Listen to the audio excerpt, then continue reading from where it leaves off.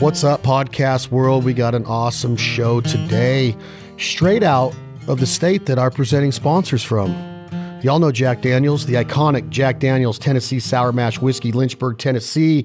Enjoy it responsibly. Never, ever allow underage drinking. Thank you, Jack Daniels, for what you do for our brands, believing in the culture of the American outdoorsman, hunter, fisher, gatherer, provider. I'm so excited today because the man I have on the show is a music man, and I know what Jack Daniels feels about music. They work with the likes of Eric Church and Chase Rice and several other musical acts across the country and all different types of genres of music. And today we have Frank Liddell. When you hear the name Frank Liddell, you got to understand that there's a story to everything. And when I met Frank, the first thing I could think of is, man, I would love to sit down with this cat and just hear stories because he's got them, the experiences of being in Music City for as long as he has, and the accomplishments that he has taken care of over the last three decades.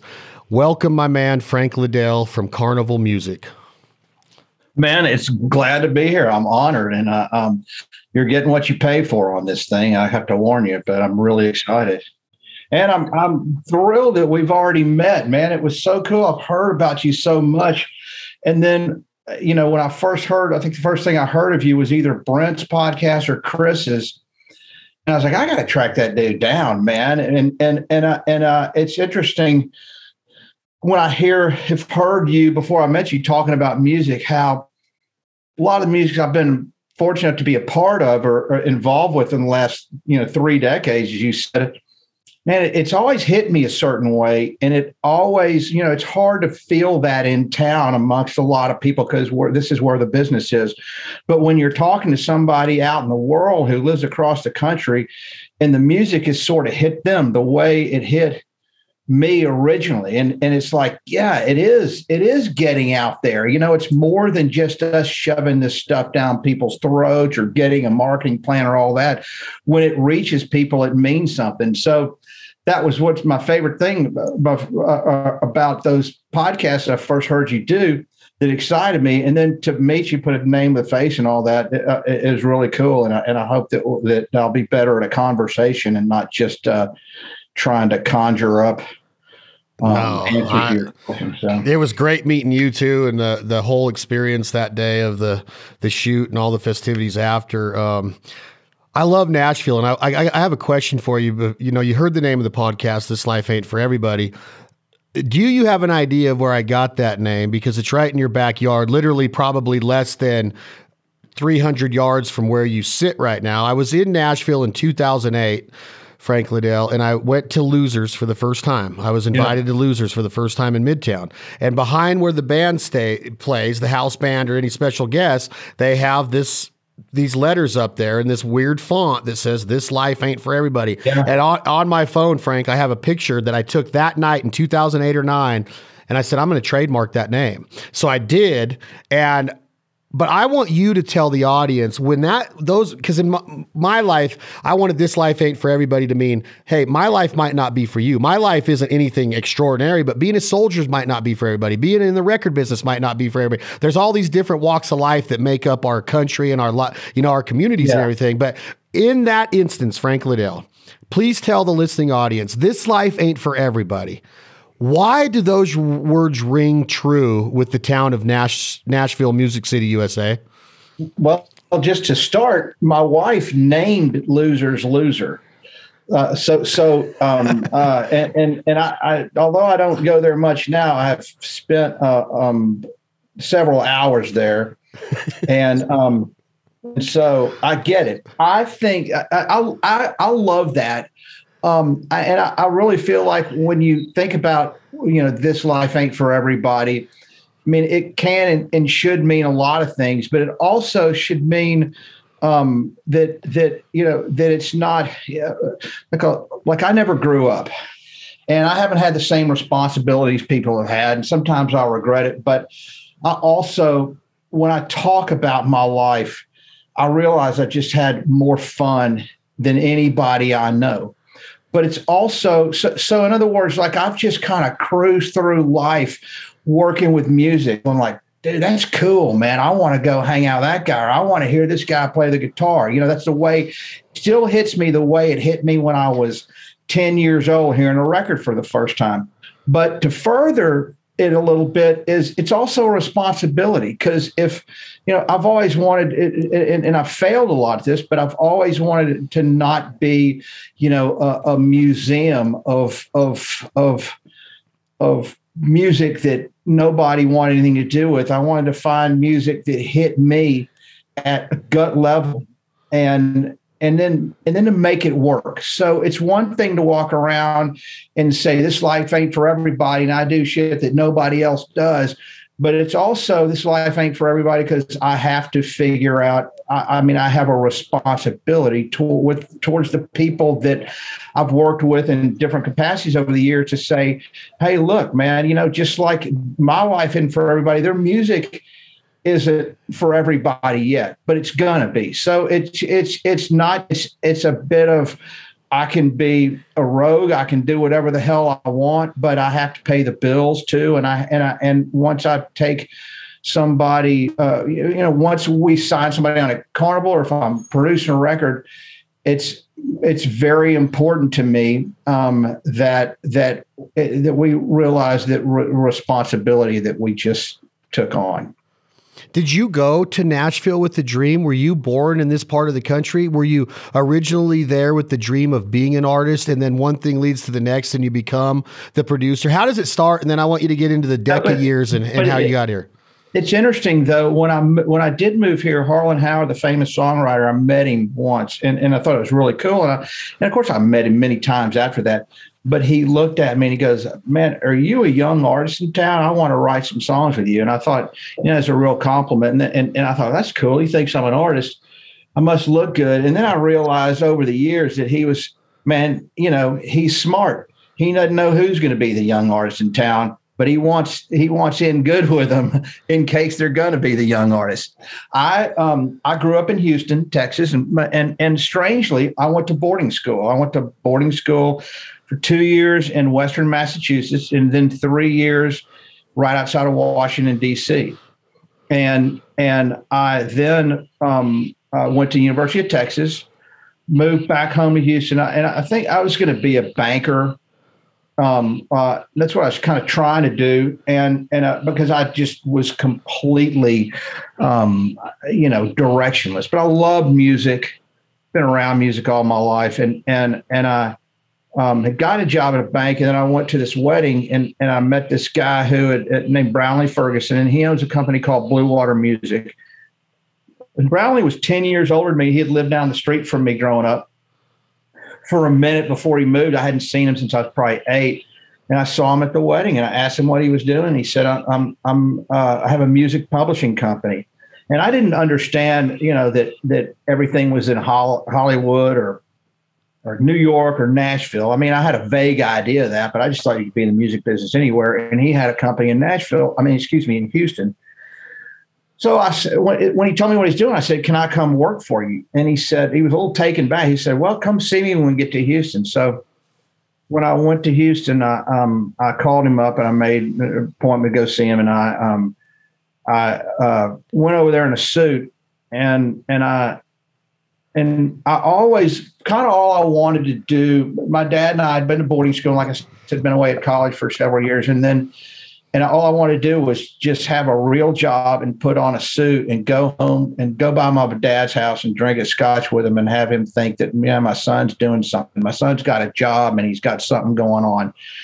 And so as soon as I kind of am going down that road and I do get a job, I um, I get intrigued by the music business thing. I go see Brownlee, and Brownlee says, um, you know, talk for a while, and he said, he goes, you know, I got a lot of work for you. And he said, but two things. And I said, what? And he said, well, I, I, I can't pay you much, if anything, at all right now, you know. And that didn't phase me. I just thought I'd move back in with my mom, and and and and, like I said, I've been gone so long that heck, I just move back in with my mom. That'll be fine. And and then and then I said, What's the second thing? And he said, Lose a suit. And that kind of bummed me out, you know. I was like, Damn, man, I just want to wear a suit. And and what's interesting about that is is I, um, to get me in a suit now, it's an act of Congress, you know. so I literally went to work for Brownlee, um, and you can interrupt me anytime you want if you have a question, you want to stop me. But I went to work for Brownlee. He had a music publishing company, and he had a hit with a song by a guy named David Lynn Jones. to Willie Nelson, number one, "Living in the Promised Land." And he had had a, a, a, a, he so he opened a Nashville office, and I was in Houston, started a little record company for him, and was going around trying to figure out the music business, and and and I you know scratching my head a lot, had no idea what I was doing, um, but looking back, I, I, didn't realize how much I was learning and how much fun I was having, and, and I also collected money for him, and I'd call around and he'd say he had, you know, bought an old song that had been a hit, and he would say, "I think there's some money in Canada. You need to find this money." And it was amazing. Like I'd call this woman the, the runaround I would get from people. So, the two things I did was start this little record company, and and then also um, collect, help him collect money. And um, he had opened an office here, and, and people that were working there after about a year left, went to work somewhere else. And I said, "Man." I'll take that job. And and I think that he ultimately hired me. And I think he hired me because the people he wanted to hire, he couldn't quite afford and didn't want to leave their job. So when I moved up here, he told me to call them. And, and he said, whatever you do, call this girl, Robin Palmer, when you, when you get there. And, and she knows how to do what she's doing.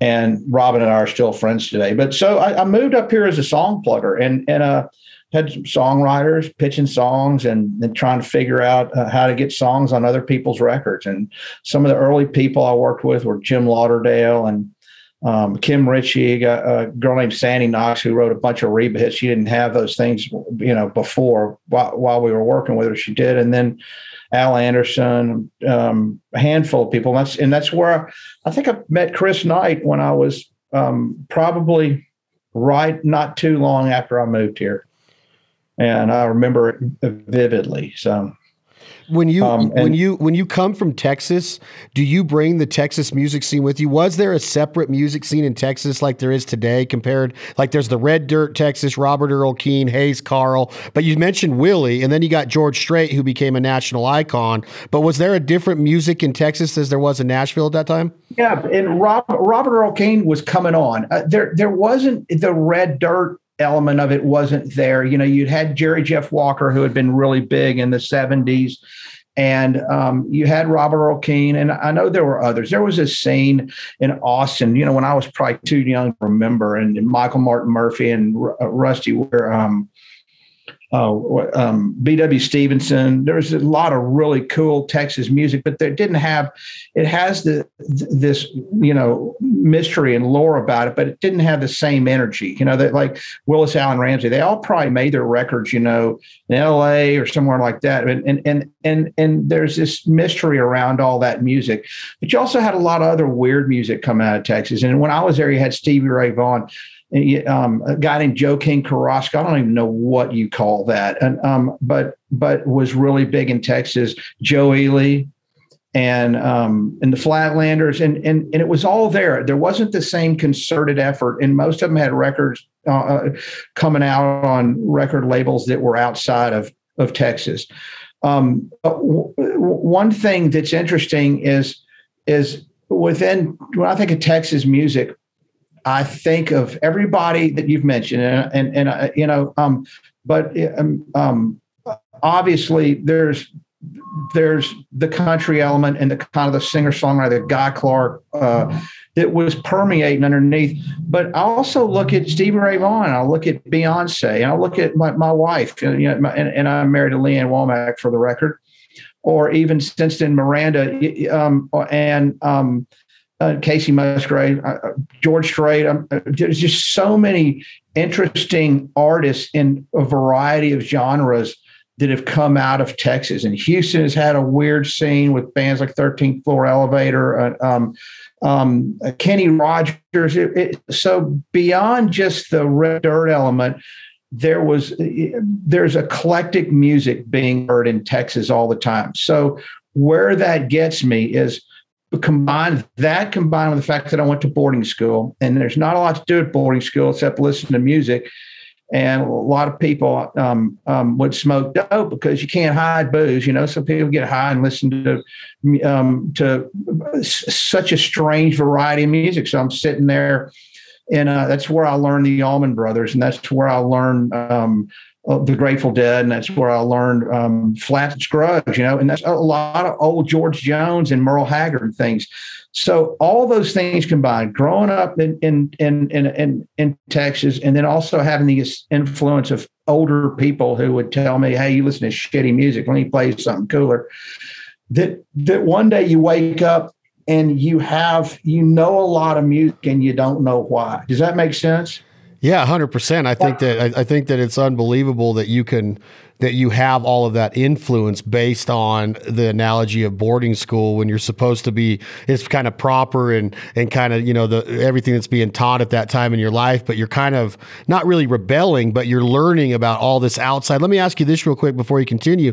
At the same time are you discovering like ZZ Top because were they were they famous in Texas before the MTV oh, days? Absolutely, they're from Houston, and they're and, and I don't you know there's a lot of stories and uh, um you know when I was younger I would see Billy Gibbons around at bars and things like that. Um, and and I don't. I think he grew up a few miles from me or so. I, I'm pretty sure in a little area called Briar Grove, and that goes back to before boarding school. So so you know, my dad listened to music. He made me learn how to play guitar. He listened to old country music for the most part, but he also listened to a lot of easy listening music, which was not for me, you know. And um, and he actually made some records and wrote songs. He never did anything with them. Um, and uh, but but so one day I hear you know Elton John for the first time, you know, and and I'm thinking, what in the hell is that, you know? So I can remember like sitting around my dad, him playing songs on the guitar um, all my life back in my earliest memories. And he would have these people, friends come over and they would sing old Hank Williams songs and Hank Snow songs. And, and they had these singing groups. He'd sing old war, war, songs from World War II. And he was a military guy. And there's always music. And then I'd hear some weird like Puff the Magic Dragon. I was like, that's kind of cool.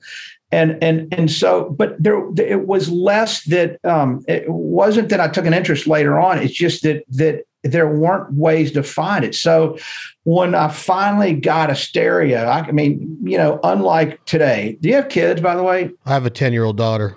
Okay. So when I drove around with my 10 year old daughter, I listened to whatever the hell she wanted to listen to when I drove around in the car with my dad, I listened to whatever the hell he was going to listen to. So one of these days, I get a little stereo in my house and I get a radio station. I start, well, that's cool, you know, and here's something like the Doobie Brothers and some weird shit, but that's was all radio. And, and of course, you couldn't buy a lot of records. But my cousins, like for Christmas, we always drew names and always asked for records. And I would slowly pick up records, man. And and and strangely, um, there's a, a, long, funny story. I won't bore you with it, but I ended up with the Who album, Tommy. I went up with a bunch of Elton John stuff, some uh, um, uh, the Who, Tommy, and and and uh, um, trying to think of ever from those early days of an, an Elvis record, a three record. That was actually the first record I ever bought. So so it wasn't like I could hear something and go, man, this is really cool. I'm going to go on Spotify or Apple and just listen to every bit of this shit, or I'm going to go to the store and buy the record because records cost a lot of money. And my dad was like, you know, probably I'm not buying you a record and you're not going to listen to that shit. So I would go through his records and sometimes I'd find something sonic kind of cool. And so I was probably about in fifth or sixth grade when I first heard ZZ Top and, and I loved him. And I never understood the Houston connection but there definitely was that Texas connection, and everybody um, that I knew loved ZZ Top. That was just, uh, um, and it was, it was, I, again, I didn't look at it like, hey, these are the hometown guys, you know. Um, now, I also have to tell you that there's a radio station in Houston. It was KLOL at the time, and it was album rock. So you would hear the, you would hear. Um, Led Zeppelin, and you would hear a lot of ZZ Top, but you'd also hear Merle Haggard periodically in bands like Commander Cody. So, so I loved radio, and I know a lot of the hits from that era. But as as you could kind of get more, hear more music, it just became more interesting. You know what I mean? Like, like, and I can tell you where I was. I can tell you where I was sitting. Um, I told you I went to boarding school in Massachusetts, and I was um, um, pretty much done. It was the spring of 1979. I'm walking through this room, and these two dudes, one guy had really long hair. His name was Lex Baird. We're playing the guitar. Like, that's cool. So I went there, I sat down.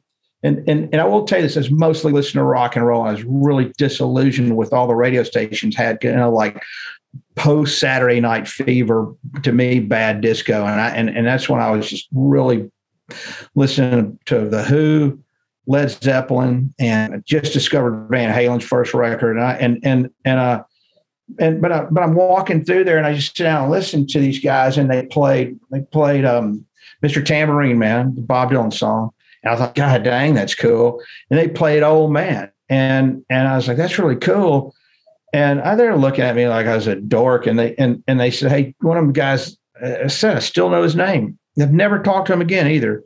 Lex Baird said, "Hey, do yourself a favor. When you go home, get Bob Dylan's greatest hits and um, and Neil Young Harvest." So I go home and I get those two records and I sit there and listen to them all summer. You know, so there was, and I'm like, wow. You know, then I go to boarding school in Virginia, and these things keep happening. You know, somebody goes, "Hey, man, you listen to shitty music. I turn you on to." the Allman Brothers, and I'm going there listening to Chuck Leavell play on Jessica, and and you know, I, did it change my life? I mean, I ended up in the music business. I don't know. I, it's hard for me to say it changed my life, but I did end up doing this for a living, and I work with Chuck Leavell whenever I can. So yeah, I guess it did. It, but all that to say, like somebody's listening to tells me, man, you need to go listen to Simon Garfunkel. Well, it's different. Again, there wasn't, there wasn't, um, uh, yeah, the easy access to music. But I would could go get a record or two, and then and and because you only have a record, you're not burning through things. You're just getting to know those records like the back of your hand, you know and and and you, they tell a story. And I fall in love with album cuts and think I fall in love with music that um, that I couldn't hear on the radio that I would find just periodically through like digging through records, and then you hear something that speaks to you, and you and and and uh, so that was going on for a long time. And all that say it, it is, you know, I've I'm I know um, I mean the album i've always loved album cuts. And and i always thought that singles were like handshakes and album cuts was were for friends. Like like okay you want to get to know somebody. And and uh, um, interestingly years later i became friends uh, and, and still am uh, you know good friends with bernie taupin who wrote the elton john song and in the in our relationship kind of um, got a little bit more significant one time when I asked him about a particular song of theirs and he didn't believe I really knew it. And and I think he was a little dumbfounded that that I knew that and several others that he that including one he couldn't remember. And I, am not the only person. I felt a little bit like you know he probably just hadn't met a lot of people, a lot of his fans. But but I also you know they spoke to me. It was it was B sides and things like that that just spoke to me. So when I, by the time I moved here, when you look at, um, like, did it make sense that I came here? Absolutely not as it unfolded. But that I'm here now, it probably does make sense. So the things that I look at coming back uh, now, like like when I got to Nashville, I, I quickly was bored never been bored with great songwriting, but bored with the status quo. And and um, one of the things this town has to offer is is just you know kind of the songwriting capital of the world and not every great songwriter is from here, but but but a lot of them move here. And um, another person I've discovered in boarding school is John Prine, and I and I, I remember it uh, being at Home Depot when I first moved here, and John Prine was standing there. I think he was looking at PVC pipe, and I was like, "Holy shit, that's John Prine, man!" It blew my mind. So in starting out in the music business here as a song plugger I was working with Jim Lauderdale, and the first thought is, how am I ever get these songs recorded? And there's this girl working with me said, "Man, you're doing people a favor playing this song. You don't need to bring people what they what they're already doing. They need to hear this." And and it gave me a lot of confidence, or more confidence, just to double down and believe in great songwriters. And those things were here. Those were the elements of music that I loved growing up um, uh, you know, uh, those songwriters are here. So that's when I when I saw first heard Chris Knight, or you know, um, uh, when when I heard Jim. Of course, my company was already working with Jim, but when I heard Chris, I wasn't scared so much that what do I do with this? I thought, God, this is friggin' awesome, you know. Well, before we get into him, because he's he's my he's my Elvis in a lot of ways as far as what his song yeah, to mean. But when you're in that point of your life, Frank Liddell, and you talk about the albums and actually becoming part of that album. It gets ingrained. You. Today you hear you you go on streaming. I remember taking out the liner notes, looking at all the pictures, reading who was mm-hmm. responsible, reading who the photographers were.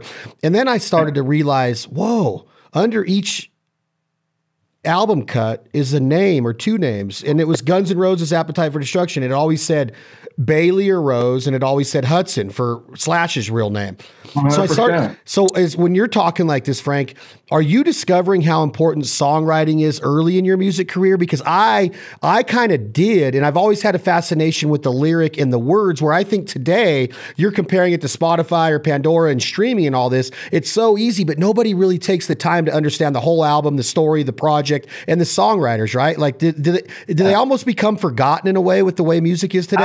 Uh, I, I, absolutely think. I mean, I, I hope it's just such an uh, an art form that's integral to popular music that continues to live. And and I still think there's some young great songwriters, and there's also a lot of talented songwriters out there right now. But uh, but people listen in sound bites. I don't begrudge people that listen to sound bites. I think they're missing out. You know, I mean, I, they're, you know, think about when you heard first heard Guns N' Roses and I don't even know the song. But then you go buy Appetite for Destruction, and maybe there's times when you and your buddies are listening to them. But I bet you have that on in your car and late at night when nobody's around you and you're listening to the beat. You know, be, you if you're listening with your friends, you're going to play play the hits. But then you just get to know the record, and there's this weird song on the side too, and you're going. It, it becomes your favorite song, and those are the things that I just consider sacred about my relationship with music. Now, did I understand that? No, because I didn't think that way. But I did. I, I never was. It's all about the song.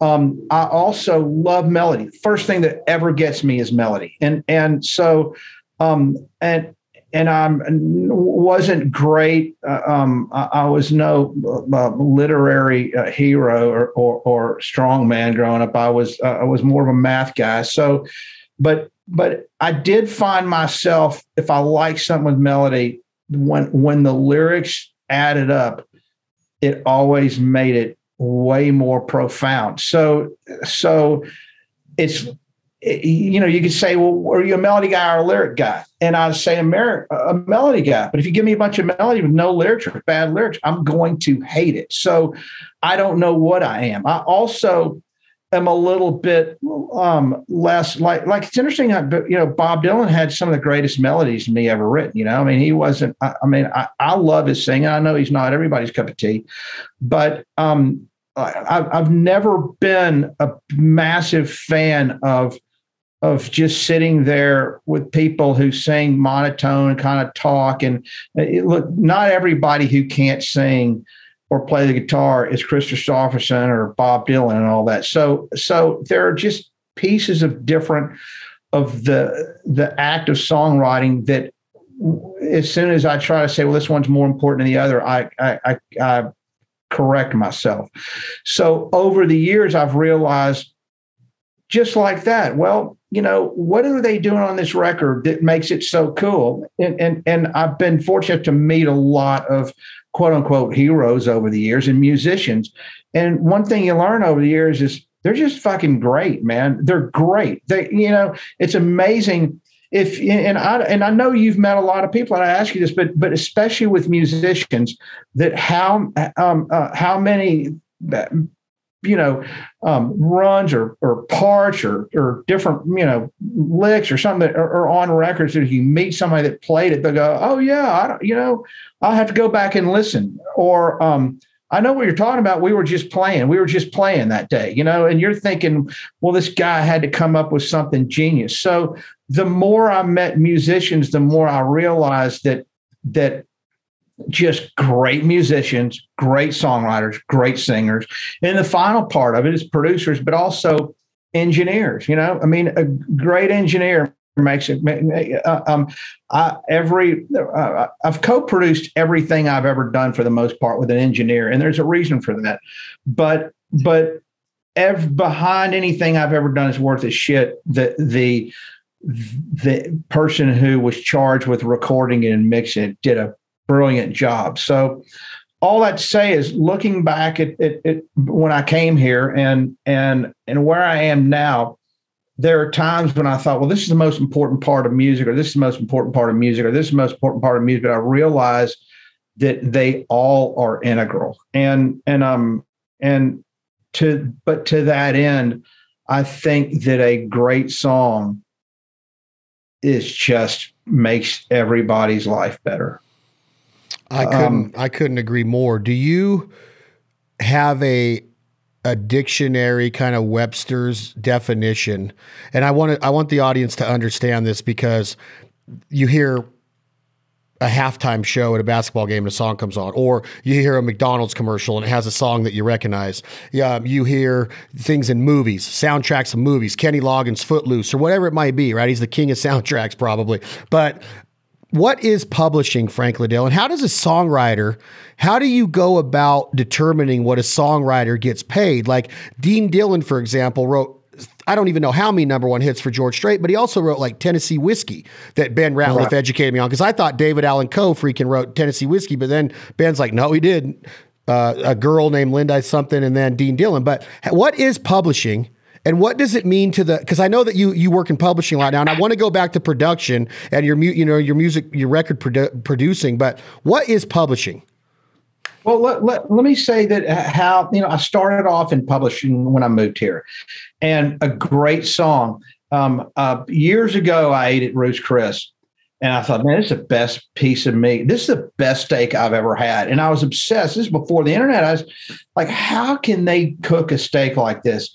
And then somebody explained to me, well, that's the they get meat that you don't have access to. So there's that. They probably, you know, have a way to cook and all that. I, I understand that. But but it's the same thing with a song. Um, you know, one of the songs I was fortunate enough to be part of was the house that built me. And and and uh and it's amazing how little fanfare went into recording it, et, et cetera. And even when we were done, and nobody at the label got fired up about it. And and and I didn't think it fit on the album, didn't think anything was wrong with it. But I get uh, people will come up to me all the time and say, Man, that you produce the shit out of that. Well, you have to know how I work, understand, and know that that's not I don't produce like that. But but it's what's interesting is uh, it's a glorified guitar vocal, and it's not. It's more than that. I'm not pooping. I mean, there's great musicians on it. But There's, but the you know the drummer that made you know the first critical decision. He said you know he decided this thing doesn't need drums, so that he probably is the most important part of the thing. And and all that to say is I get credit sometimes for that record, that song and and it was the song that carried the weight. And everything else added up. I'm not saying but but and, and it makes you realize sometimes that that you know that song matters. So as a publisher the way i always looked at it for a long time is and it, it's it's different now. You used to be able to make good money on an album cut. So in other words if you have a song on a record 20 something years ago that sold 2 million records um, even if it wasn't a single, you were going to make. I mean, I don't know what the the rate back then was, maybe eight cents per record, or it was probably nine, but but um, per song per record. If it sold two million records, that's one hundred eighty thousand dollars. It's going to go to the writer, and then you know it's split in half with the publisher. And but back then also, you usually didn't have more than two writers on a song. So now uh, and, and, well, and now you have a lot more writers on songs, as you can kind of see, and and and so it's split up between writers and publishing, and it's just and and and artists all record songs. They're all in on the writing. They're all recording their own songs, et cetera. And and and there's teams of things. It's just a different world. So you don't see a lot of people recording outside songs. You know, keep in mind the Beatles record outside songs. So the Rolling Stones, so did Elton John, so did um, Willie Nelson. Um, and but it's just gotten something more where it's a lot of a business right now. And and I don't think you can have the same model that I had going into this. Um, I I couldn't start a company that way today. I think it's uh, uh, uh we've been able to hang on and survive because we have had so many great songs that that have have done well for us over the years. But again, if I had a great songwriter back then, and I was paying that songwriter X amount of money, and I could get a couple of good cuts on some good records, and I was always we're a small publisher, so I noticed that you know Tree, which is Sony, and and Warner Brothers, EMI, all the big companies at the time, and they were good companies, and great songwriters wrote it, all of them but they had mainstream country. They dominated it. So, uh, so if I'm going to bring a song to somebody, it's going to have to be different.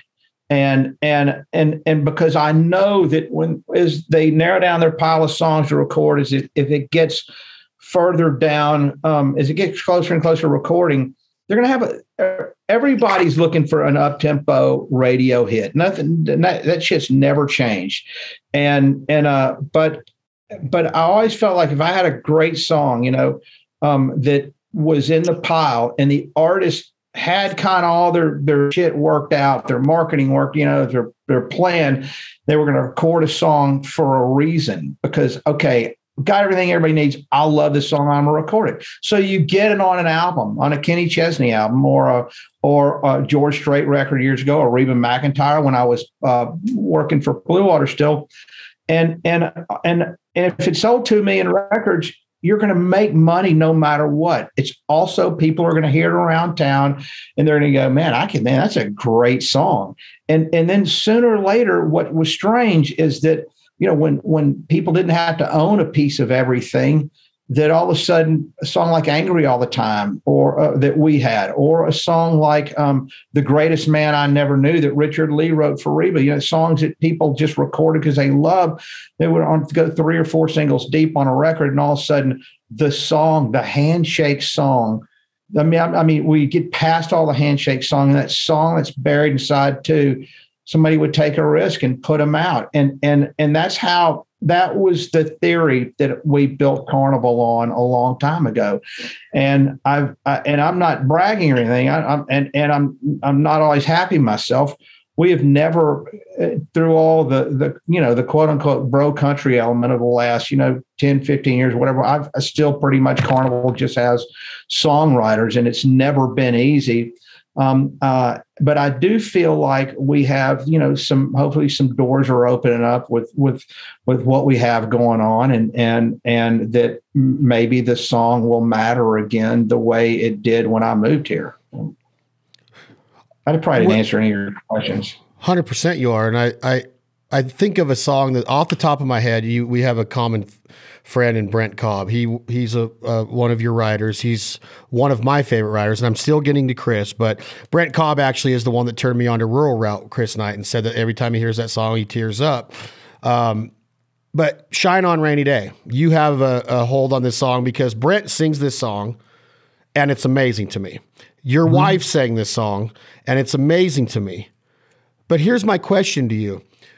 Lee Ann is a hit maker but at the time she puts this song out, this song doesn't become a hit for Lee Ann. And I'm just saying this out loud to get the, the reasoning of where this song goes from here. I feel that the whole world needs to hear this song. Lee Ann's version on the radio, Brent Cobb's version on the radio, something needs to get this song to the masses because I think it's a genius cut. So, does the song stop with Lee Ann? Is it done now? Is that song go nowhere except when um, Brent plays it live? So what's interesting that you say that? Um, uh, well, first of all, when Lynn, when she started making records, I mean, you know, going back five or six years, she said if you look at country radio and and and probably radio in general and how it treats, you know, um, the the you know aging women especially, they, they you know it it's not kind to them. And I'm not. This is not a statement of any sort. But my wife is kind of like look, I'm not going to chase this the rest of my life. I want to get on with making the music that I want to make. And I don't, and, and I would, I hope that it gets played, but I don't want to do it just to get played and then have it not get played. You can look around and see what happens in this business. And and and so there is an element of her. I'm just recording a great song. Um, and and um, but g- going back to interesting, like um, uh, I, when I was probably I know, 12 or 13, there's a song called Hooked on a Feeling. I, am hooked on a feeling. High. And BJ Thomas had a hit with it. And I can't remember the name of the other band right now. They had a hit. They both had hits with it, pop hits with it. And and, and then you go back and look further, and somebody would have a hit on the radio, and then other people would cut it, and respectable artists would record, you know, a song that that their buddy had out on a radio. It's just bizarre. And then somehow it got to where if this song's on an album, even or it was a single, but but but but it originally but died. Well, maybe it's bad luck, or maybe you know if it didn't work, I don't want to record it. And and uh and um and and and ultimately just if somebody recorded it people would would be you know sh- would shun it you know? But there's songs that have been recorded a lot and rewritten like like the gambler that finally found its right moment. I mean i think that that that's just all music business sort of like us kind of um, overthinking things combined with the fact that a lot of artists now are writing their own songs so the is somebody going to re-record that song again? I would hope so, and I think it could have its day in the sun. And the only people who the, the fact that it had been recorded a few times because Andrew Combs wrote it and it's and he recorded as well with Brent. That that that just makes the story better because it is such a great song, and hopefully one of these days somebody does record it. Uh, uh, my hope, and and I'm and I'm uh, let me tell you this: I'm not holding my breath, but that again, like as I said earlier, if Willie Nelson can record outside songs, anybody can. Um, my hope is one day people realize that the money there's less money in publishing in this business than there than any element of our business.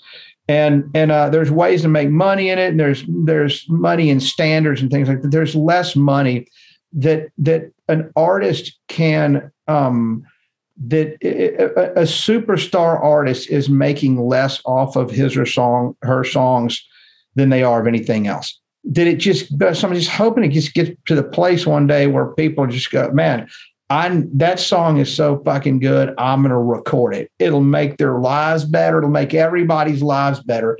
And I think if we get back to that, we're like like because like I said right now, I could we could pitch "Shine On Rainy Day" around, but the odds are people aren't recording outside songs. So it will be hard for it to get recorded for that reason alone. And and then on top of the fact that it's been recorded. Um, again, I'm hoping that in time that that live music, that people playing instruments, that real songs become relevant again, and that and that and that like the scenario you're asking about can exist you know that uh, but I, I think it's mostly it doesn't matter that they've already recorded that song it, in the least bit as far as it becoming a hit down the road it it, it we do people do think it matters does it matter does it matter how you pitch the song, Frank Liddell. And my question revolves around if you listen to Chris Knight, and we're going to get into Chris, but if you listen to It Ain't Easy Being Me, or you listen to Shine on Rainy Day, the way that Brent Cobb sings it and the way that Chris sings It Ain't Easy Being Me, does that intimidate a potential uh, radio guy of going, well, I can't do it better than that. Why would I even try that? That is Chris Knight to its fullest. That's Brent Cobb style. Luke Bryan's not going to look at Shine on Rainy Day and go, wow, even though Luke did take a Brent Cobb song called Tailgate Blues that Brent sounds right. amazing on, that should have right. been a number one hit for Luke Bryan, even though it was never released as a single. It would have been a number one if he did, because that's one of Luke Bryan's finest songs. But does it ever intimidate an artist if it's not pitched the right way and they hear Brent sing that song and they're like, I can't do better than that? Um, um, over the years, I've seen, uh, uh, uh, it's a good question. And, and uh, unfortunately, uh, there's a handful of answers. Um, some people are intimidated. Some people, perhaps, if they hear somebody singing a demo, if they don't like them, um, uh, they're singing, or if they can't sing as well as them, or um, you know, it, uh, or, or, they the song, the demo pigeonholes the song. They can't hear themselves doing it.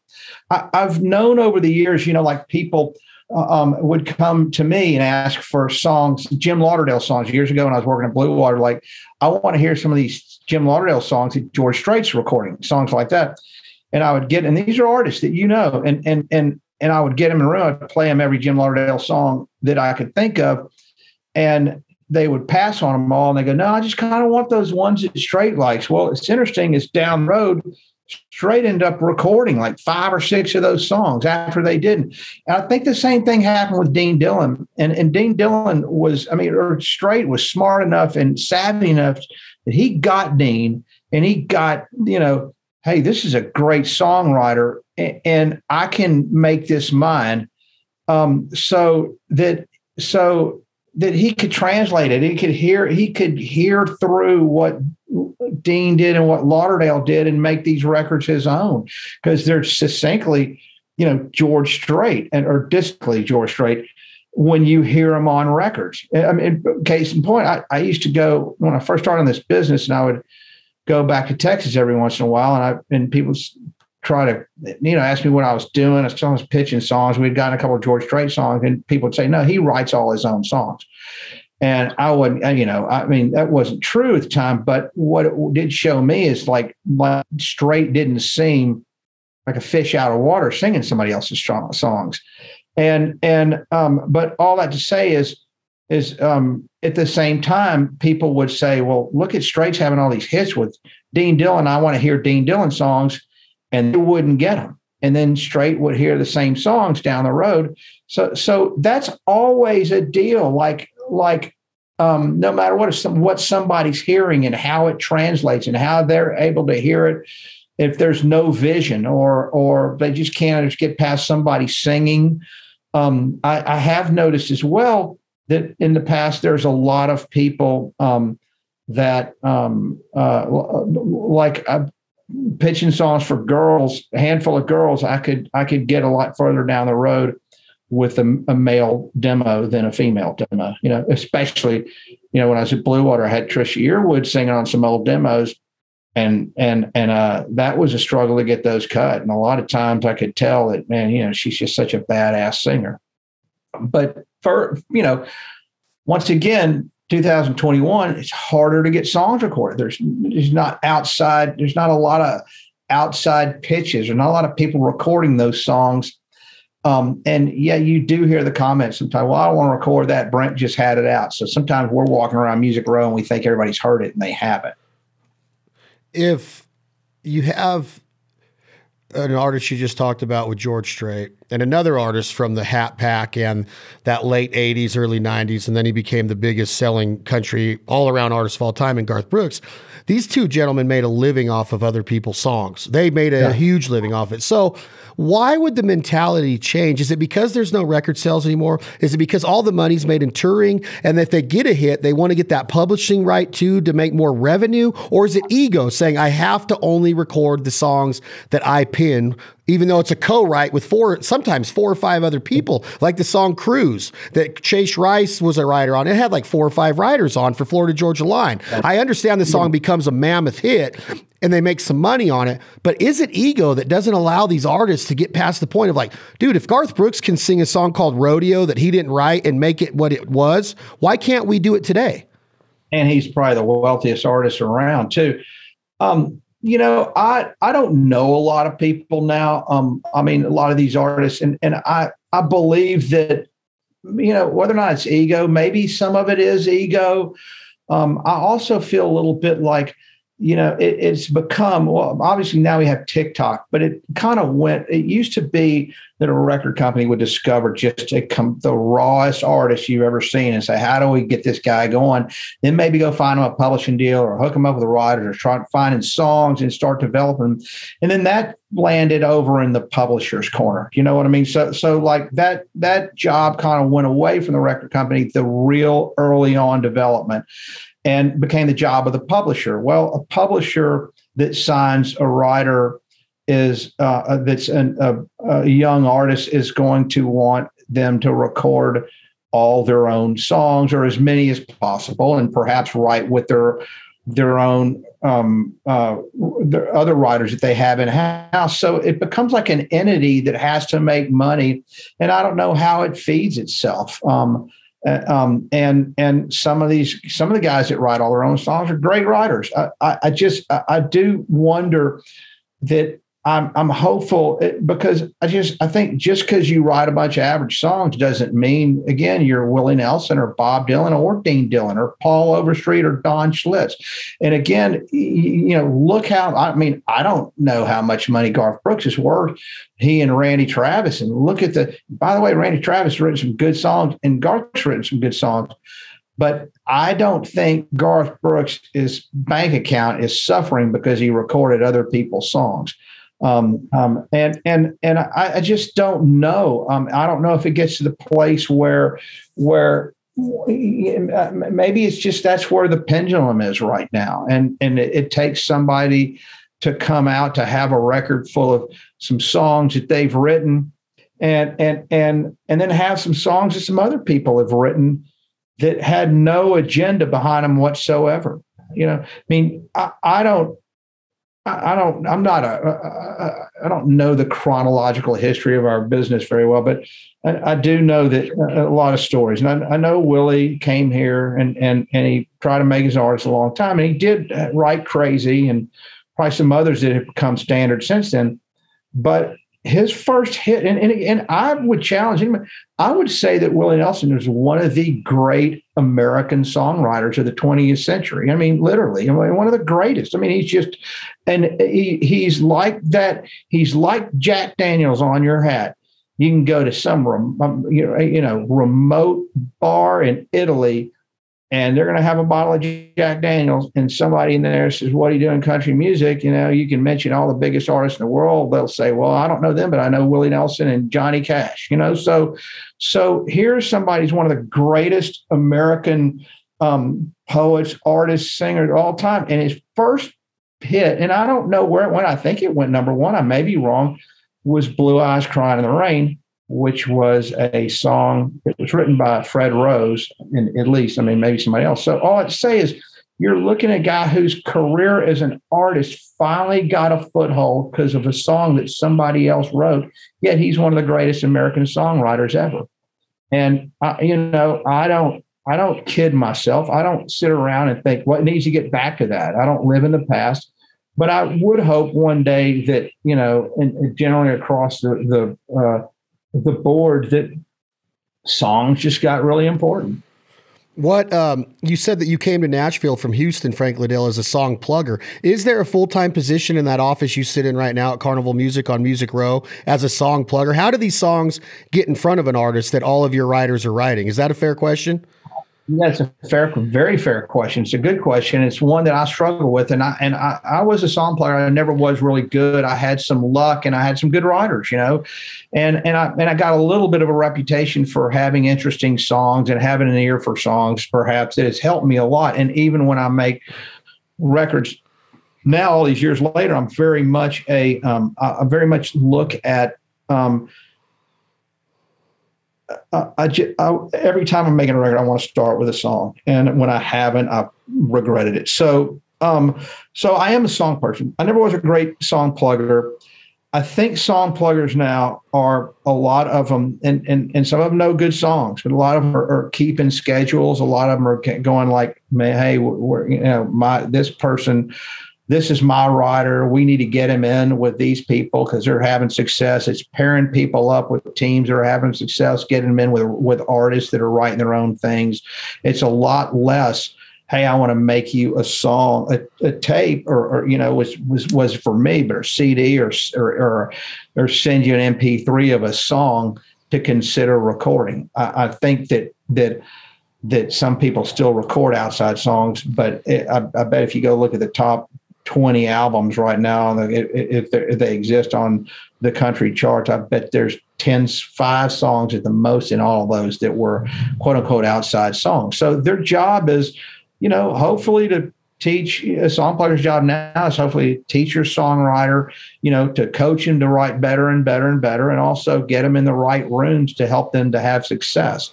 Um, it it's it doesn't always seem like um, it it's not necessarily conducive with with you know putting the two best or two people in a room together that may write the best song ever written.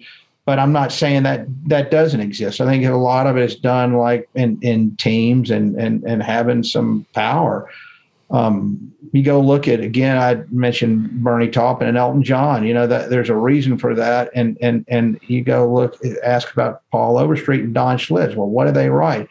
Go look. It it's you, you don't have to say how many awards they won or or what you know how many number one hits they had. You start saying "Forever and Ever, Amen," or on the other hand, you know you start mentioning the songs, and um, uh, so, uh, you know, back then when they would write a song, song plugger, or you know, would take it to the producer, the A&R person, maybe the artist, and they would need a great song. Hopefully, it would get recorded.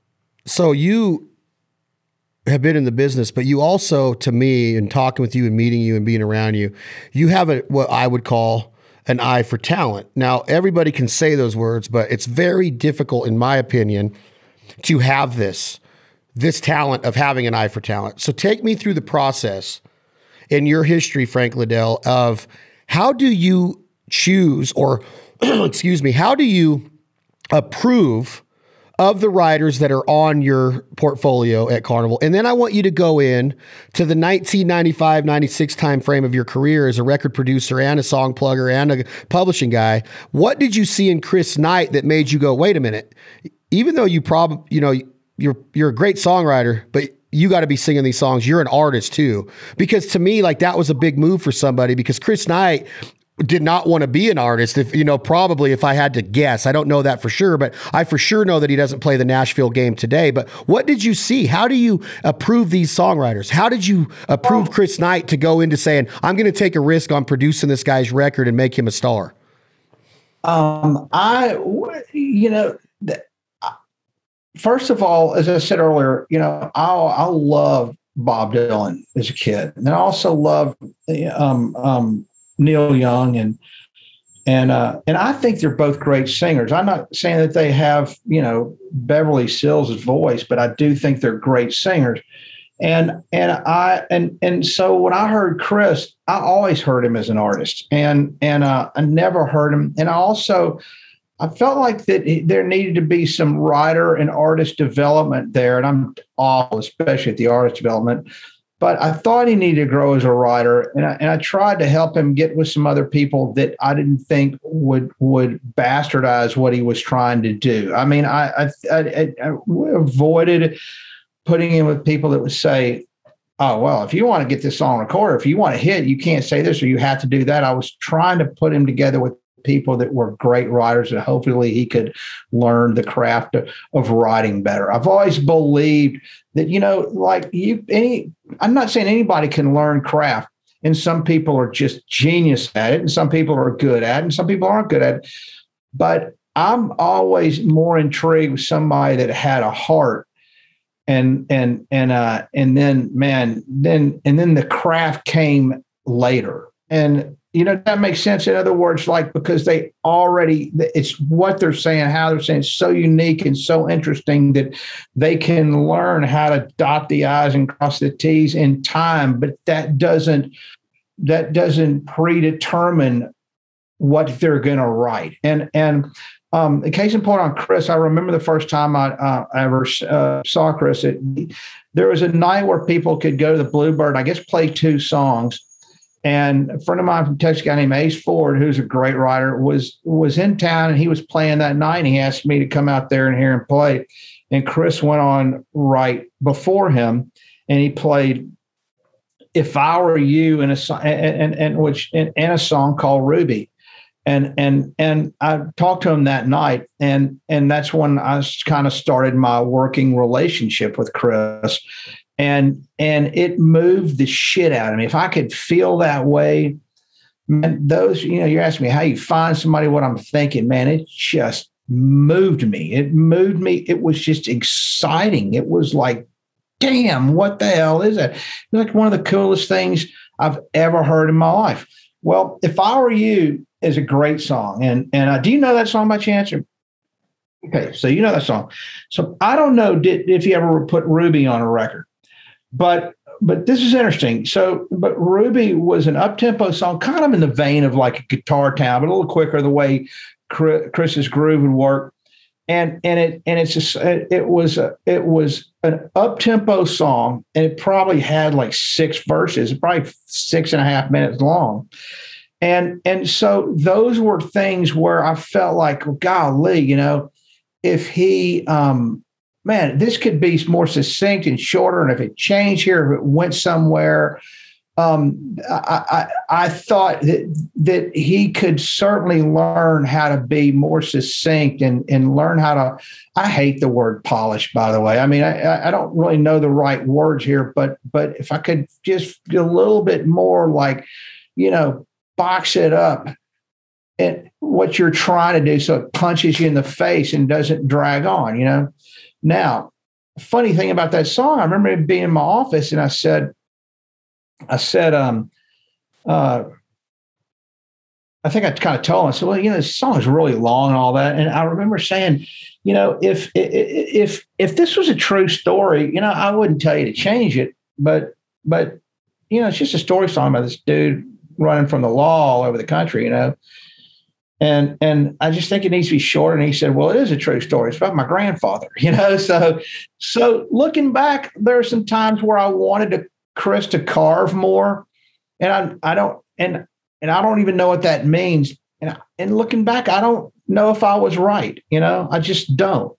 Um there were a few things that I asked him to change, and one of them I think I was right for sure. It's funny how I remember all these years, and one of them I think I was dead wrong. It still kind of bothers me, but but I will tell you that that I've hooked him up. There there was a uh, songwriter team, Sam and Annie Tate, and they were from California, and they're just kind of folk writers. And I just thought, man, these guys are great writers, and they're crazy, dear friends, but crazy.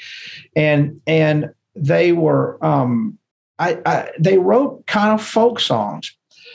And like like almost just right out of the 60s or something. And but they never wasted a word never wasted a word never you know, there wasn't just a filler verse or a filler line anywhere in their song. And so i put them together with chris to write. And i and i know um, that that they wrote some good songs together. They wrote summer 75 together i don't think it was right for for Chris long term as an artist. Um, but I do remember when you know that one of the reasons I put them together is because every song they turned in was just airtight and not not in a bullshit way, in a you know friggin' a po a '60s kind of flower child poet way, and I love that stuff. Anyway, but they they didn't know the game enough to change him and say, well, this is what you need to do if you want to make it, or this is what you need to do, and and I remember after that, Chris went away and he came back uh, and and, and he had been in home in Slaughters for a little while. And he came back with two songs he wrote by himself, and they were Framed and a song called Send a Boat. And, and and which I just think is just this day one of the greatest songs I've ever fucking heard. And it's polished.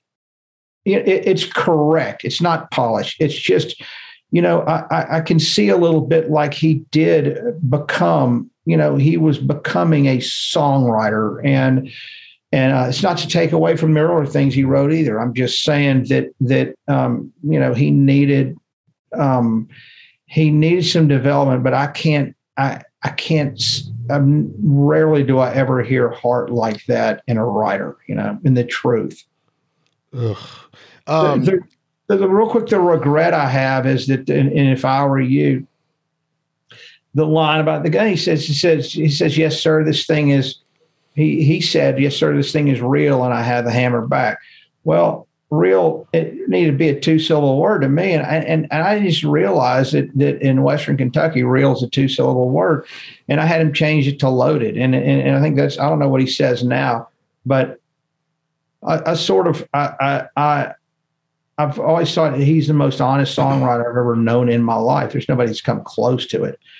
And and uh, and um and so I mean, in the scheme of things, you know. I hope he doesn't wake up in the middle of the night and want to come get me for that. But but all that to say is I, I, do you know there was he was already a great songwriter and i didn't want to change him i just wa- wanted him to get better and i didn't really know how to do it on his newest record, Almost Daylight, he has a cut on there called that he wrote called Send It On Down. Your wife, Lee Ann, sings yeah. vocals on it. She also cut the song. When I hear the second verse of this song, the first verse is magic, but the second verse about sitting in the bleachers of the football field Sunday morning, it's cold. He just polished off a fifth. He can almost hear the good people sing because the church is closed. When that happens, and I picture this man in those bleachers down on his luck, and he and he's comparing himself to these good people that are in church, you know, praising Jesus above when I hear that, I'm just like, are you the same way when you hear this song? And is that why Lee Ann cuts it? Because you and her look at you and her look at each other and be like,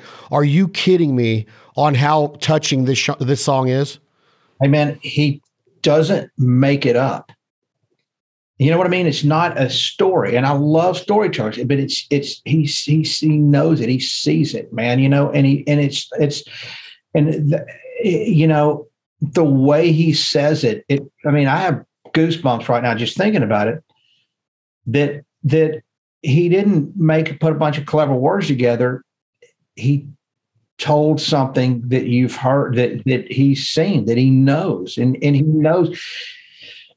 Chris is an interesting guy man. He grew up in a really in, in rural kentucky and i remember a little bit when i was working on like the dot com business things were blowing up and and but i didn't hit rural kentucky and and there was a lot of times where his songs were dark and everybody kind of want to hear light this and that and the other and and and one time Chris said, you know, the reality is is these songs there is light in them because everybody I know that's in these songs that have grown up with, they have overcome. They're overcoming. This is where they are.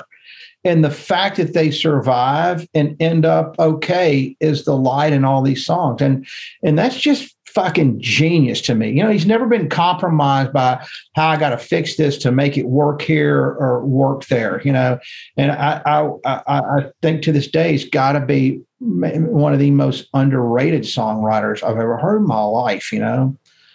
Do you personally not like the fact that somebody like the man we're talking about from Slaughter, Kentucky, does not become a star that the whole world knows about and needs to hear. But some of the people that are on the radio do, and they're not what you called authentic and real and and just you know like maybe polish isn't the right word. Chris Chris isn't polished. Chris is Chris, right? Like, does it piss you off personally, Frank, when you see a career go that way to where you know he should have been the at least winning the Songwriter of the Year award several times in his career?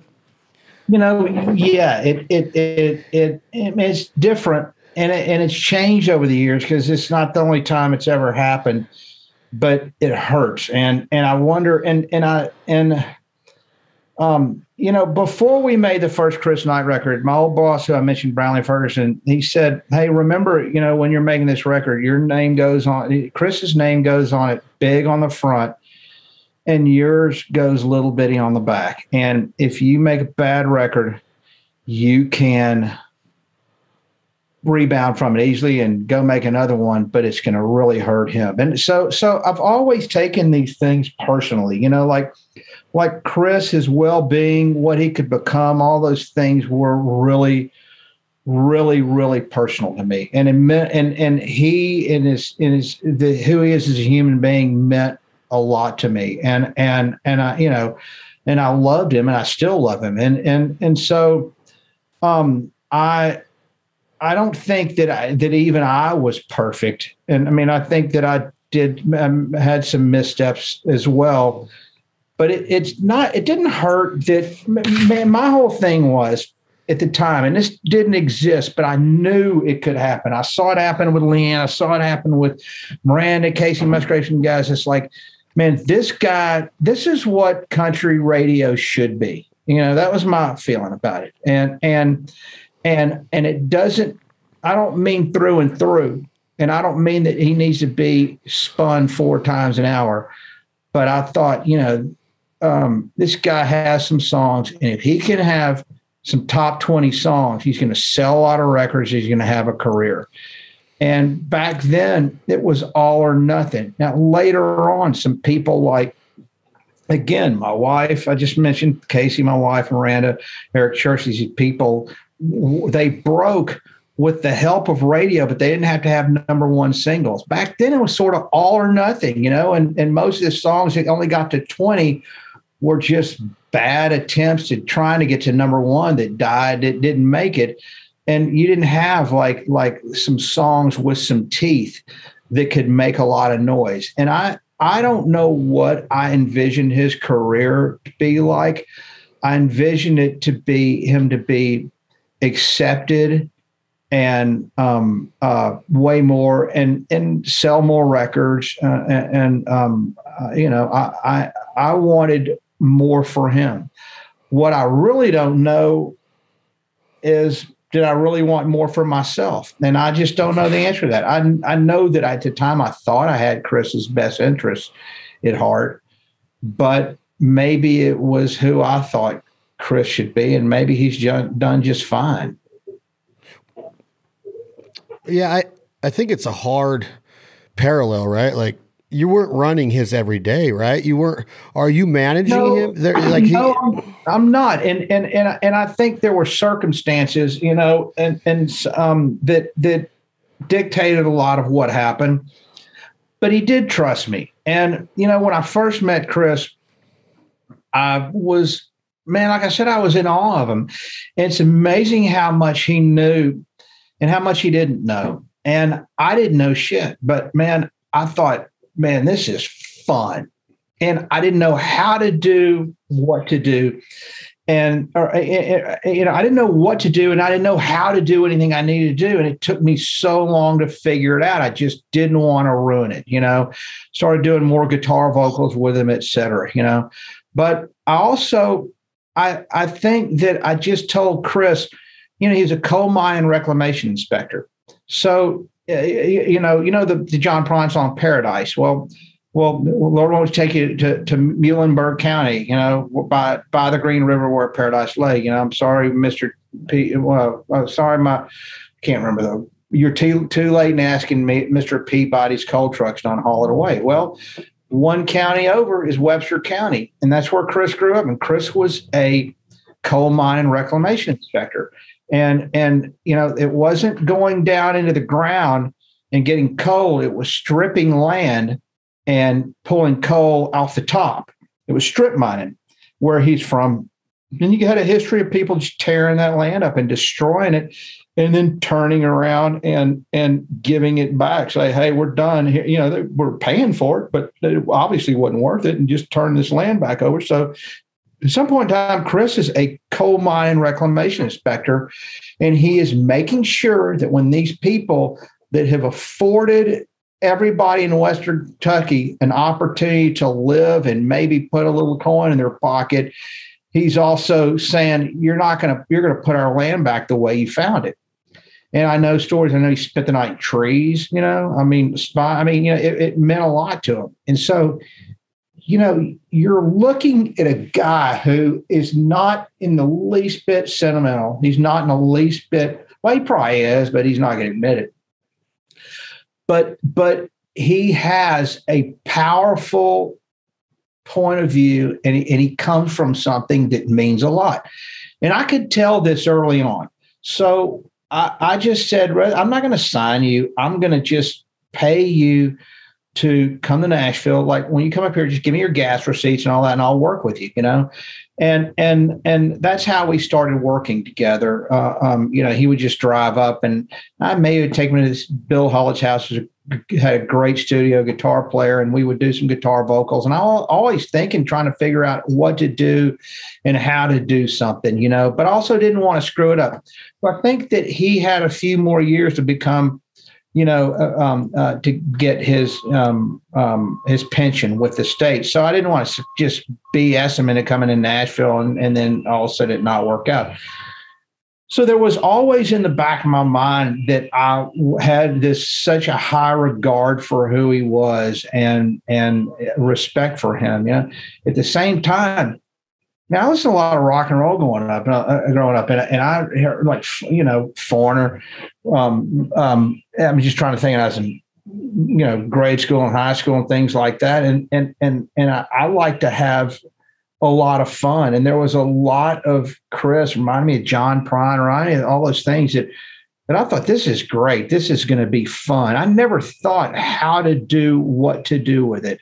And and and, I, and so in retrospect, I wasn't his manager. That came later, uh, but he did sign with our record company and I'll try to go to war for him within the building. Maybe it wasn't the right time. Maybe we made the wrong record. I know there's some some element of him that probably believes that, and and and uh and um um you know again I didn't know what to do. I didn't have answers. Like so when he put his career in in my hands, and he had this guy that's 27 years old who'd moved up here from Texas who thought, man, it's some fun shit. Let's go do this. I, all I cared about, I didn't know anything. I just thought this is some great shit and we need to, we, we need to protect it and have fun with it. So, um, I, I, although my motives, I thought, you know, were good.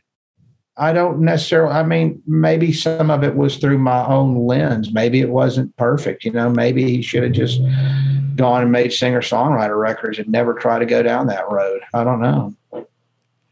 I don't either, but I do know that I he's regret it. You don't? No, I don't you, regret you anything. Broke, you broke you broke up. I do I want to make sure you said that you no, don't regret I, it. Yeah, I do not regret it. And I'll tell you that if you look at it, man, the world there wasn't really much Americana. The world wasn't full of people playing, making you know, quote unquote Americana records. I don't want to get down that road because that's a whole other deal. But it wasn't. It was. It man, there was nothing out there like Chris. It wasn't. There, there wasn't a friendly home anywhere. There wasn't like a thing to do. And and and and and I like when we made the record. I mean, I had some. I didn't have that your your average Nashville musician. I mean, not, none of them are average. That's I meant the record, the musicians that were playing on every record I carefully selected some of the greatest musicians and engineer and people that I could think of, man. And we went there to try to make the best damn record we could, you know. And it, and and, and is uh, part of you trying to tell me, Frank Liddell, that you don't think that that 1997 self-titled Chris Knight album is not perfect? Are you trying to tell me that you have some regrets on that album? Because uh, I think it's I, one of the greatest. I can't have any regrets. The only I love it, and and I've and I've always think people. I, I hope that in in somebody's life in this business, that one time they can care enough about music and put in put into something what I put into that because I thought, man, I I never accepted no for an answer and I remember when we finished tracking that record, I was just sitting on the board and I had tears in my eyes. It was the most exhausting thing. It was three years or four years of just trying to find a way just to get this guy a record out, you know? So I don't regret. I think if I do have a regret, it's that I, I didn't feel like at the time that maybe I left him behind, you know, a little bit with all the guitar players. I didn't have, I didn't, it wasn't thought that way. I can't explain it, you know? I think it's a wonderful record, and I think it's done him well. And it's and and and look, man, people still call me about that. It's amazing. I mean, we made it twenty something years ago, and young people here go, oh, let's go do the Chris Knight record. You know, so I don't have any regrets, and and I I doubt he does either. For the most part, I do think that maybe that was I believe that he was going to have a bigger career, and I believe that as a recording artist, you know, and, um, but and and and I and and I just don't know if I left him behind and and let him down. I don't think that I ever thought like, "Hey, dude, you need to do what I'm telling you to do." I thought my thought process the whole time was, "This is Chris Knight, and nobody's doing what we're doing." So it wasn't, you know. I don't, I don't, uh, uh, I don't personally regret the record. I can, I could see why maybe you know it doesn't resonate is and i don't know we don't talk about this but that it maybe doesn't resonate with him the way it does with some others you know when was the last time you personally listened to it? It's been a long time. Why? Does it does it touch you in a way to where it brings up a part of frank liddell that you don't want to go back there? Or are you proud of it because i listen to it at least once a month but i listen to songs on it every day? No, you know what? Um, I will tell you this. I um, when I think about my what I've been able to do, I think that that is, man, maybe I should have stopped there. I, I, it's one of my favorite things I've ever been a part of in my life, business or otherwise, you know. So absolutely, and I could listen to it. By the way, I could listen to it in a heartbeat. I just don't listen to much that I've worked on in the past, but it holds a really special place. You know, while we were making those records, that um, you know, ultimately the trailer tapes came out, and and my whole thing was I thought he was going to be bigger than he was, and I was like, I want to get these songs recorded where he wrote them in this trailer that he lived in, you know? And and and uh and so that's kind of the, was the impetus of that. What's interesting is that i would have never had the balls to call them the trailer tapes to his face but ultimately they just became the trailer tapes and that's what he, they're known as you know? Great and and when um you know years later uh, ray kennedy um you know rick's manager rick alter got ray kennedy involved and and and i was a too close to them and b too far away to make sense of what they had been. So gave him to Ray Kennedy, who's just a wonderful uh, singer, songwriter, producer, engineer, fascinating guy. Made Chris Knight's last record. Um, so, so I gave them to him, or it was Rick's idea that, and, and he made sense of them all because there was different different versions of of the songs recorded in different places. Well, the funniest thing about it was that that and a lot of water had gone on the bridge, you know, since we had made the trailer tapes. And this guy interviewed me about it, and then he interviewed Chris about it, or vice versa. And and on the when the CD was released, it has a quote from Chris and a quote from me. And Chris's was essentially, or mine was essentially, man, I hope I, am so I, I'm so glad these things are finally coming out. I've always held out hope that these things would be heard and Chris's quote was essentially, "Yeah, I was hoping these things would never come out," you know.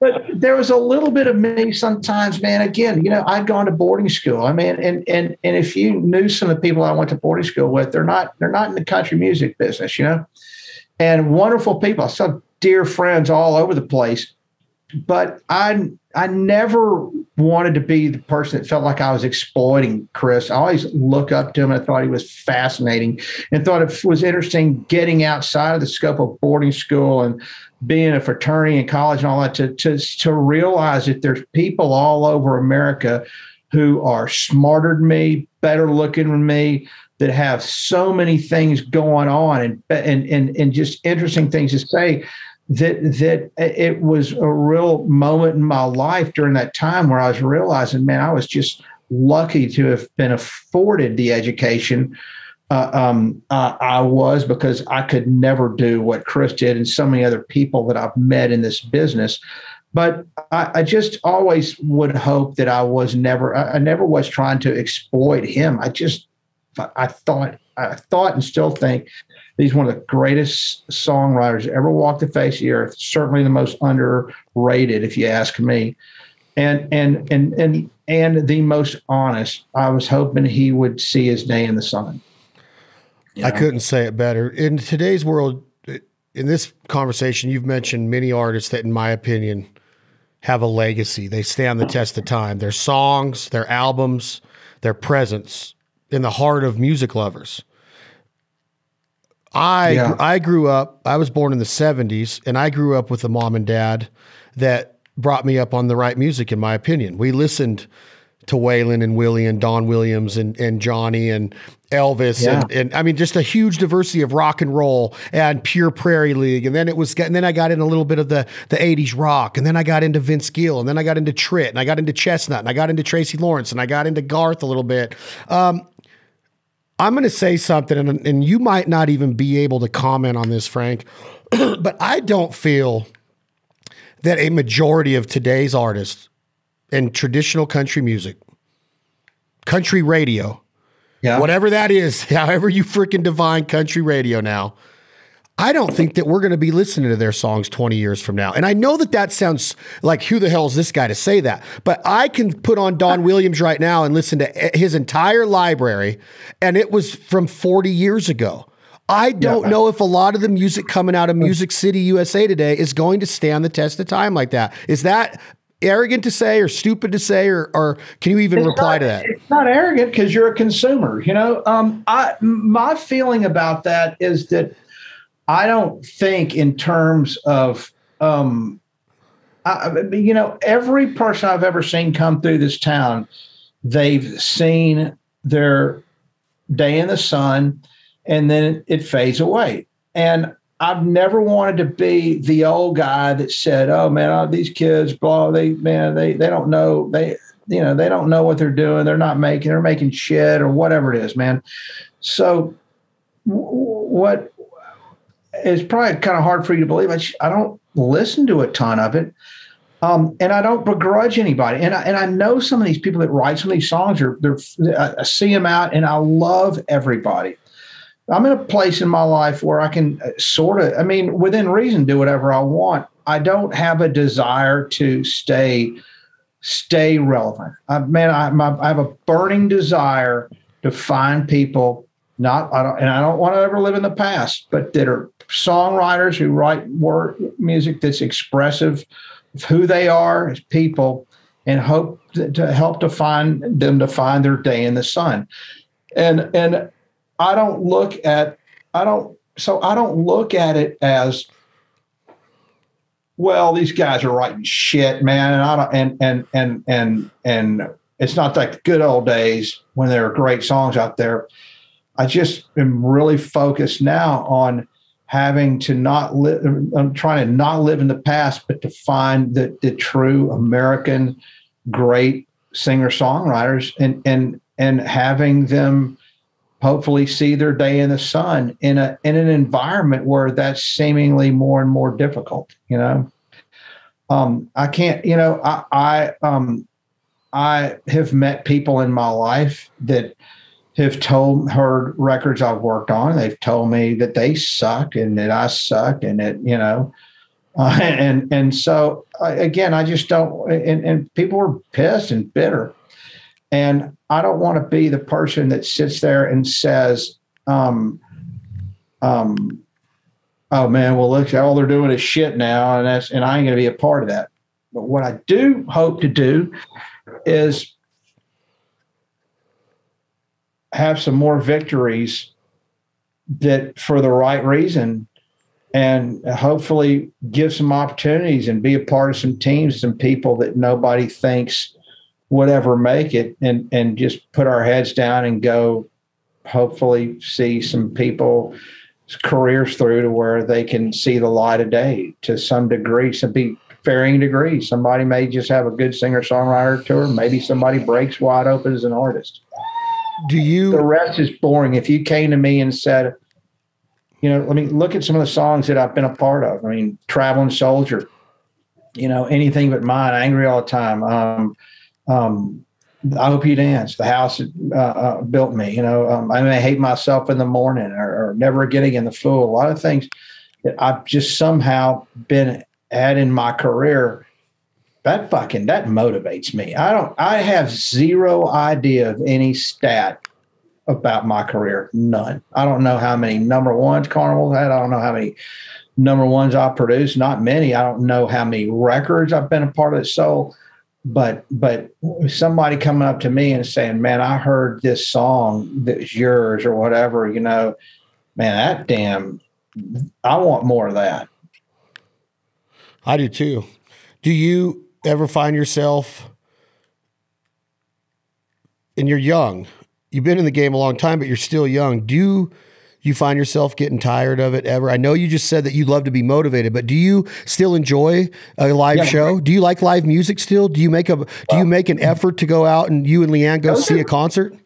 Those are two different questions, man. And I will tell you that that uh, that um um okay, yeah, I am tired of a lot of things.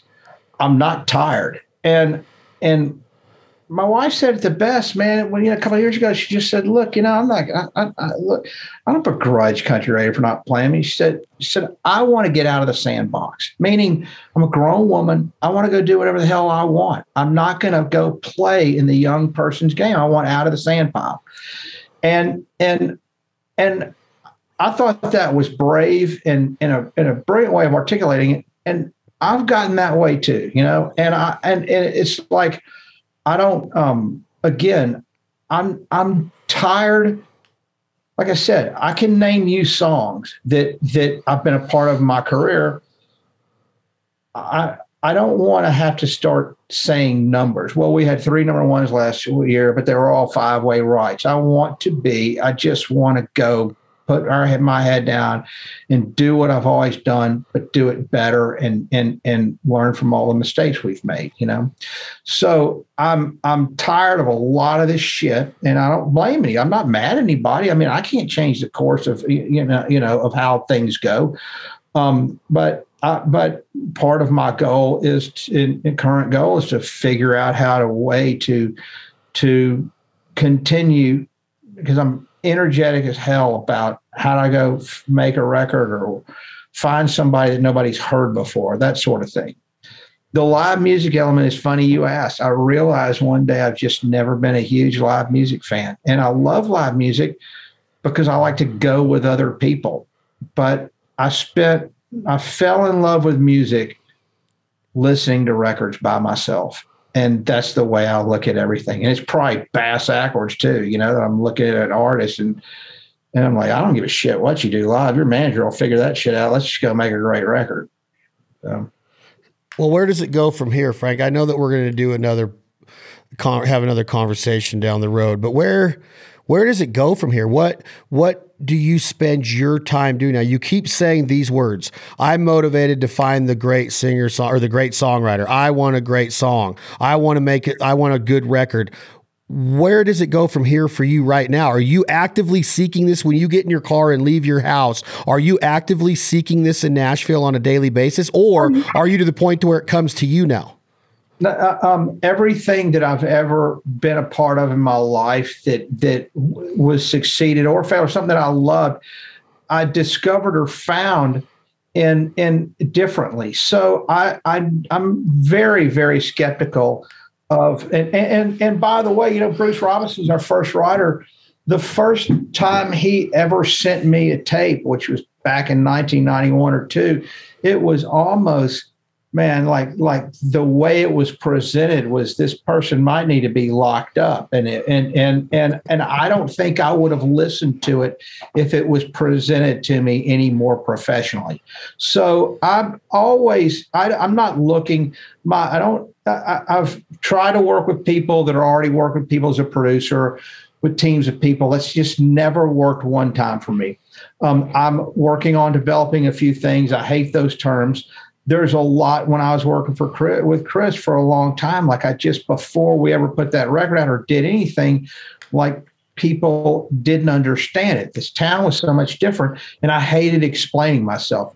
So I have things I'm working on a, a, um, a record with Lee Ann, and and which, which I love. And I do have a worry. I think it may be two records, and and and instead of one longer, I think it may be the beginning of two records. And and and and I and I got a run that through uh, with City Hall, City Hall being Lee Ann. So, um, um, but there's a handful of things I'm working on early on that I'm really excited about that nobody knows. And they're not people that have managers or agents that people are, are looking at, you know, or for, or that, that they're the golden child. They're things that I think that I can put my head down and do something really special and interesting and and and I'm hoping, you know, I hate talking about them. I hate telling everybody that these people are going to be great. I just kind of want to put my head down, but also look at somehow like you know, Carnival is a publishing company, we just never really got into the as I said earlier, the quote unquote bro country element of music. And, and, and we don't have any track guys that write for us. We just all have melodists and lyricists, and they all pretty much are singer songwriters, some more mainstream than others, and, a, and an odd variety of them. Um, and and but one of the interesting thing is is I, I, think that I've been working with Cobb now as a producer. I mean, I'm sorry, as a as a publisher for 12 years, and and and and uh and we had a meeting there today just talking about where to go from here and all that. And all that interesting stuff, you know, all surviving a lot of the things I've been talking about with um, um, with you know the the five way rides, the, the the the radio just being a little bit more like everything's sort of similar. That I, I feel a little bit like everybody knows Brent. He's paid a lot of dues. He's he's kicking ass, and I feel like we're just getting to a place where he's going to see his day in the sun, and and for the right reasons too. And, and A, he's going to see his day in the sun as a writer and hopefully an artist. And and and B, it's going to be shit you're going to want to hear, you know, and it's going to be hopefully it's outside songs that he has recorded. I'm hopeful that they are that they change people's careers, change and and and and that will have been something that that ties us back to the old days of recording great songs to the future of hopefully recording great songs. And I use him as maybe the bellwether of helping this company because we got a couple of young people here. They're young artists. I'm really excited about. And and but they're all of similar cloth, and I'm hoping maybe he maybe he's poised to to lead us through or out of the doldrums of what we've been dealing. He's the with. best songwriter in Nashville right now. I'm going to tell you that right now, Frank Liddell. Oh, he's awesome, man, and and and uh, it's funny because I was talking to my assistant who, um, or, or uh, one of them lives in Atlanta. It's kind of a long story, but but she saw my calendar that I was meeting with Brent. She said, "What are y'all talking about?" I just kind of told her. She goes, "She said I love Brent." She said, "You tell Brent when he's saying that every time you know people turn our songs into him." She said, "Every time I get a song from him." I smile and I can't wait to hear it. And I think wow. that we've all felt that way for a long time. And I'm hoping, you know, that that again, the whole world hasn't changed. The you know maybe what's popular right now is a little bit different, but I think if the song still matters, and I think it does, that that Brent Cobb's going to be a household name, hopefully sooner than later. I I will fly to Nashville and celebrate with you the day it happens. I've been I couldn't say that more vividly myself. My last question to you, Mr. Frank Liddell, and thank you so much for spending almost two hours of your day with me. But Chris Stapleton has a song on a newer album called Nashville, comma TN. It's about a love romance marriage with Music City. The yeah. I'm sure you've heard it, and the gist of the song is that we're breaking up and I'm leaving because you built me up, but you've also tore down everything that made me. You've tore down my dreams and the things that helped me become a dreamer and the things that helped me become who I am. It's time for me to move on. I'll probably always think of you like a girl, like he's talking to a girl in the song. Yeah. Great song. We'll never yeah. get any radio play. But yeah. you, my question to you to end our talk today, Frank, and we'll schedule part two because I love your life. Um, do you still love your city, Nashville, Tennessee? Do you wake up and say, I got to get out of here too? I've heard rumors that even he might be leaving. Chris Knight left. Justin Moore took off. People leave that place. I know that a lot of people stay, but do you still love driving into Music Row, 16th and 17th Avenue, where Carnival Music sits? Do you still love your city? Well, uh, um, I will say this. Now, the city itself has changed a lot, and and and so uh, you know. Um, do I want to go downtown tonight? Probably not. But as far as Music City, I, you know, Music Cities cannot be to blame for the things I've not liked. Like if somebody says, "Well, country music is really shitty right now," man, I have never been here for 10 minutes when people have not said this is country, the shittiest country music's ever been. And people will point out that there's been shitty country music in the 60s and 70s, and, and all the great years were not so great. So, um, you know, what's interesting is we get flagged for it a lot. Pop music is such a giant field that you can there there are more names to pull from over the last 50 years that you know that you know there's just you know if there's X amount of artists in in in a country, there's a hundred fold more than that times as many artists in pop. So there's more you know household names, more George Joneses, more Willie Nelson, more Lee Anns or Miranda. There, but but but there's also even way more shitty music. So I've never, you know, it's just a numbers thing. I've never, uh, you know, our, our format or genre, I would like to say, or and I would like to say that it was an art form, and we'll get back to that. But I'm never, uh, I don't subscribe to the thought process that, you know, Nashville sucks. what I struggle personally with is I always like to do things, whatever I'm going to do. I like to find things or work with things that wouldn't otherwise have representation, and and I, and I find myself more and more having to put my head down and not listening to conventional wisdom and outside, you know, advice from within this city. So so I, I can't, if I have a new artist I'm working with, I, I don't find myself walking up down Music Row asking people's opinions. However, the people whose opinions that I care most about in the world all happen to be here too. So, in other words, the more things change, the more things stay the same. And um, I, I, I, will say this to you about like that song at Christmas. One of the things I've said to people over the years is they they come here and they're trying to impress people in Music Row, and I understand. Um, and and and when people say like they want my opinion, I was like, man, I'm 50 years old. I'm a white, and I get all my music for free. Why do you give a shit what I think?